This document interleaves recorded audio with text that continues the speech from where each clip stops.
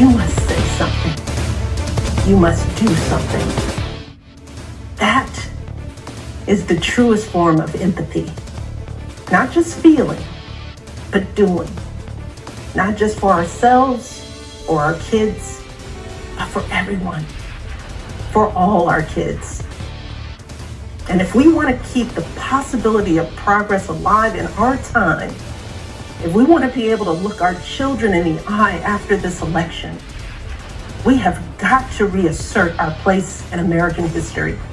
And we have got to do everything we can to elect my friend Joe Biden as the next president of the United States. Thank you all. God bless.